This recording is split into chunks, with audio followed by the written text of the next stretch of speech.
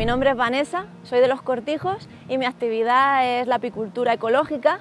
Eh, sacamos mieles monoflorales, eh, multiflorales y mielatos dependiendo de la temporada del año. Damos a conocer a las abejas y la importancia que tienen en el ecosistema.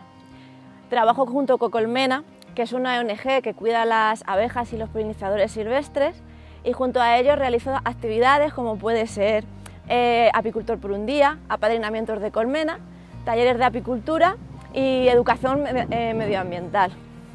Para mí ser mujer en el mundo rural no tiene ninguna limitación, ni ser mujer ni vivir en el mundo rural pienso que no tiene ninguna limitación porque tenemos todas las alternativas que necesitamos.